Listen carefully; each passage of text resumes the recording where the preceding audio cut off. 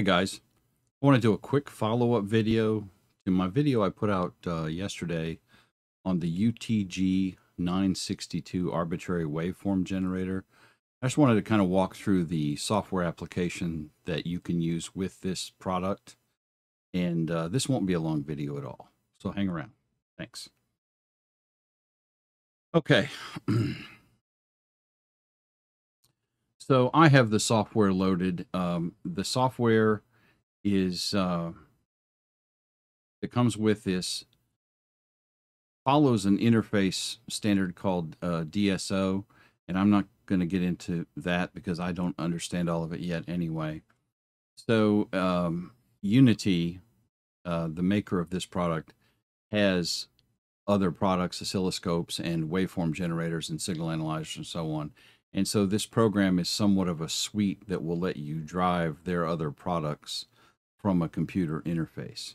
Um, the product only works in Windows, uh, is all I've been able to find.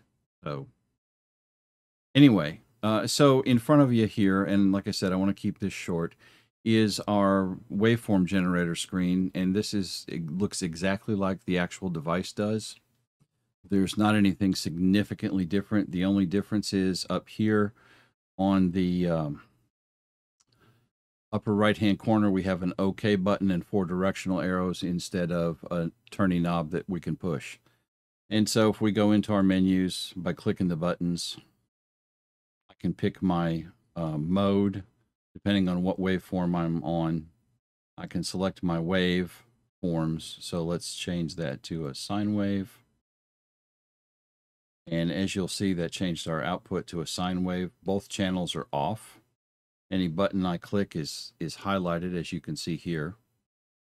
Um, so there's the, the different waves. And of course, then for sine wave, we can change our mode to uh, AM, phase mod, frequency mod, FSK, line log, so on and so forth. And that changes it just like it does on the device itself. Um, we get out of mode, we'll go to wave. So I did want to show you this because I, I briefly touched on it yesterday, and this was one of the cooler features that I that I neglected to really dive into. Under arbitrary, ARB, over here, when I click that, so now we have, if you look on the left side of the screen under channel one, it says wave file cardiac, and on the right side it shows an EKG.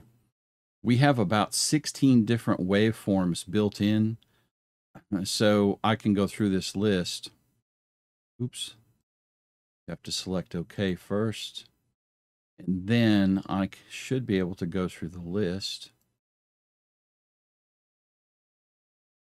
Okay, I've got the right menu up. It's a little a little different with the OK and the arrows than it works by twirling a knob. So over here on the left side where it says wave file underneath this, these are all the onboard waves that uh, waveforms that the device has built in. And you can see we've got um, we've got there's five on each screen, and I'm I'm not going to read all those off. You guys can read fairly well, probably. And you can see we have just a whole bunch of different ones. So if I want to pick one, I can up down arrow. It will jump up, and you can see samples of what they look like over on the right hand side of the screen. And then the right arrow scrolls us to the next screen, so on and so forth. Let's go see what a radar wave looks like. Right? Very digital. Looks digital. And so on and so forth. So that was I think this is kind of cool because this comes with like I said all these all these features built in. And so we can select one. And then, of course, for any of the waves down here on the bottom, I can set any of the parameters. I can jump to it and change the period in time, the high and low frequency, and any phase deviation I want to set.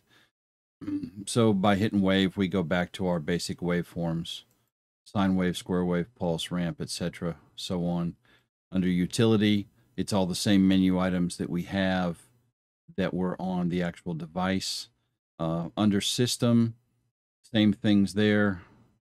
Nothing, nothing has changed. This other than the way this um, directional pad works. The software works exactly like the device. Uh, and then I can turn on a channel here. And when I turn it on, you'll see it's lit up. because I've selected it and it should come on and now it says on and we're doing a square wave with AM modulation. So um turn off the channel and there we go. So that is uh that's the software. It's uh it's pretty decent software. I'm not entirely sure how useful it would be to have your computer doing this for you. And I personally feel that I could drive this faster by twirling the knob and pushing buttons straight on the interface. But in reading the manual, I found that this device does support um, the same communications protocols that most oscilloscopes um, use as well, which is SCPI commands. And there's a whole separate programming manual for the waveform generator. Again, I think you're getting into functionality that is, you know, of little use to most people.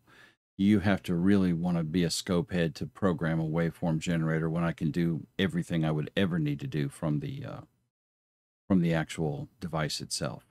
But I wanted to show you guys what it looked like. In any case, that's it for this video. I don't want this to be long. Guys, have a great day. If you have any questions or comments, please let me know. And as always, um, give me a thumbs up, share this with your buddies, subscribe, and uh, hit that uh, bell so you get notified whenever I drop any new videos. Thanks, 73s.